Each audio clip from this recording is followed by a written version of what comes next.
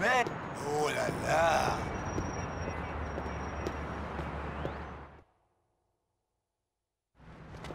Hey, have your light. Hey, sorry, Papi, I don't smoke. Ah, a Spaniard. Wonderful. A man of culture. I'm not sure someone from the Heights qualifies as being Spaniard, but whatever. Oh, exactly. Whatever. Whatever you say, Daddy. Excuse me? What is wrong with you? The British, they give you this beautiful, if a little awkward language, and you just debase it with whatever, or like, or fuck you, or get over yourself. In that case, fuck you. Oh, c'est ça. On va te faire foutre.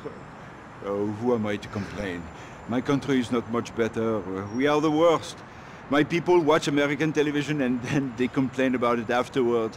Oh la la, I am rich! Uh, time was when we would chop someone's head off and we would run around the street with it on a stick. Vive la France! Now, we are soft and miserable just like you. Hey, I'm not miserable. Well, then clearly you do not watch enough television. you enjoy the, the bright lights and the big cities and the hope that maybe one day you become rich and stupid and, and your people, maybe you can make a nice little TV show with you and your friends. Hey, knowing my friends, I hope not. Well, I do not come to Liberty City uh, to watch television. I come to fuck and get high. What else is there? Well, I don't know, family? I had a family.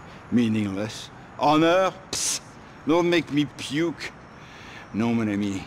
I had to tell you, my friend. Nothing matters in this world apart from getting your rocks off. Or getting so out of it you don't realize you haven't got your rocks off. I like a man who's so focused. Have you got a car?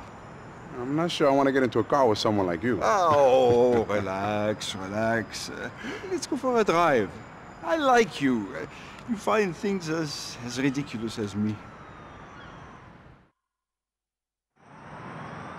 Have an appointment at the high-end massage spa on Diamond Street.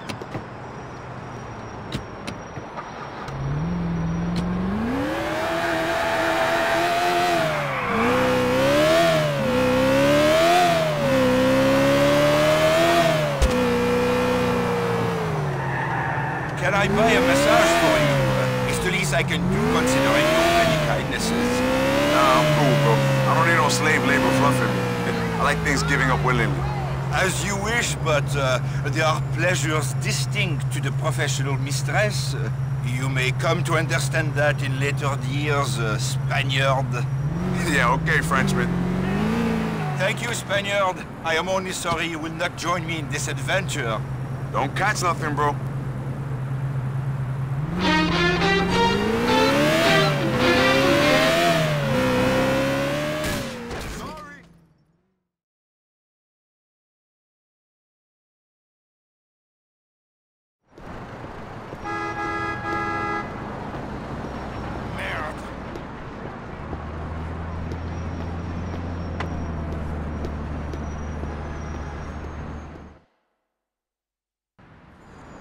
Luis, Yeah, it's me, Arnaud. Thank fucking God I can see you. Thank you, God. Maybe you do exist. Arnold, what are you doing down here, bro? Well, we had a little incident. I don't mind when the girl play rough, but when the pimp come in and he plays rough too, oh, la, la, la, la, la. What happened, bro?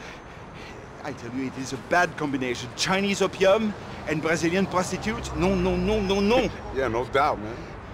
I was just nodding off after a little bit of light after dinner bondage, and when the pimp comes in, he steals my wallet and gives me a good beating. For watching too much television? somehow, uh, somehow I feel my dignity is still intact. Wait a second.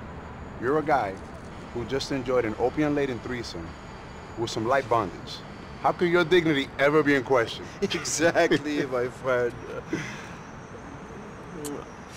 Uh, well, maybe you can help me uh, get back the wallet. Hey, compared to the shit I dealt with today, okay, that doesn't sound so shady.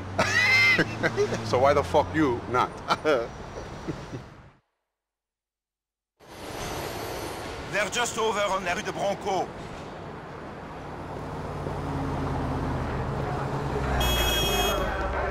Hey, lady, relax. I thought a free spirit like you wouldn't mind a bit of joyriding.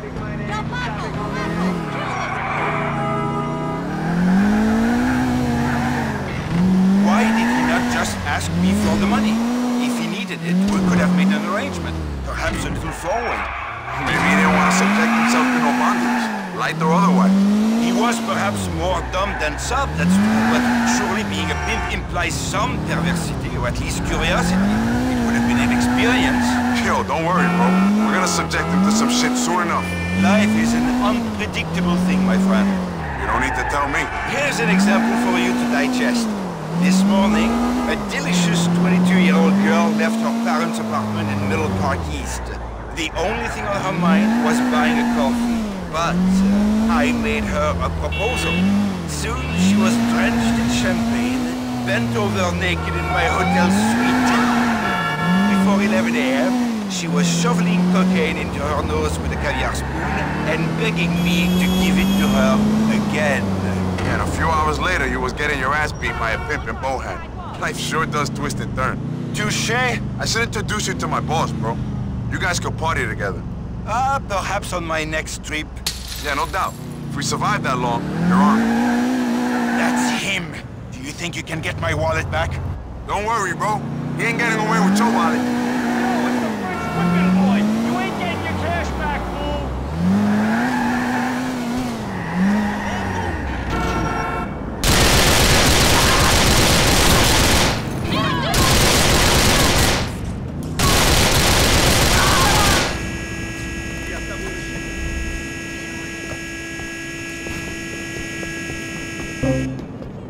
I'm gonna drop you around the corner, bro.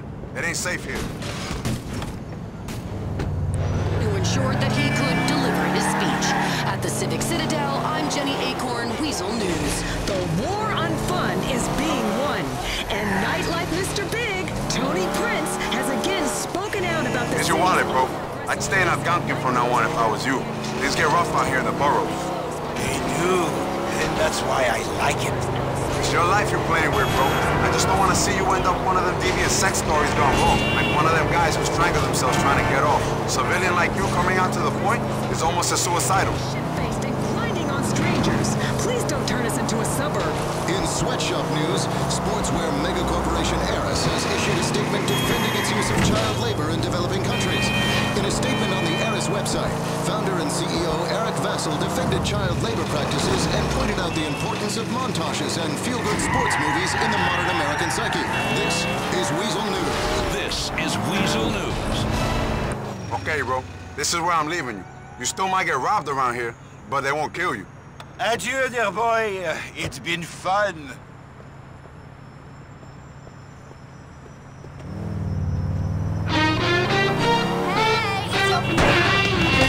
People call me dangerous? You're deadly, bro.